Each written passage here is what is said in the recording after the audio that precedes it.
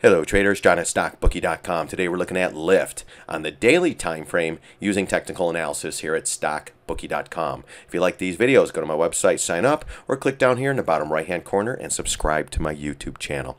Alright guys, so we had 66.76 in there for a little bit of support once we made this high pivot here, and this seems to be holding at this point. The $70 even number as well. I think that was the IPO price, but at this point I don't care.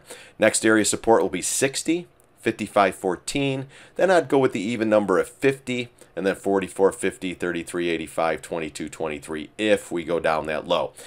A big part of this trade will be the SPY, the Qs, and the indexes, guys. Those keep grinding. This has a pretty good chance of grinding with it. If the Qs and everything give it up and start to slide, this will probably continue down.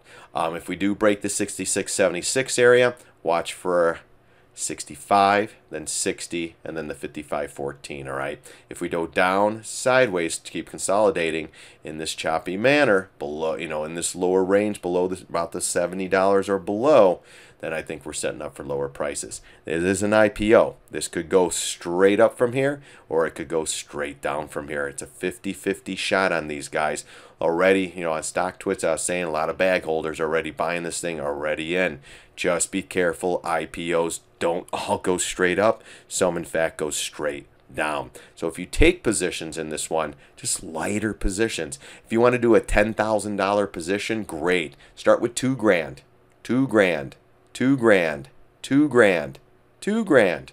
Get your average price around 50 and then hold on for dear life. I have no idea what this thing's going to bring. All I know is that the mathematical numbers are holding at this point, and uh, we'll see what we get on uh, tomorrow's close and then Friday the weekly close. If we do get below the 66.76, the selling could be on for lower prices. Again, it's an IPO. It could go straight up tomorrow on news.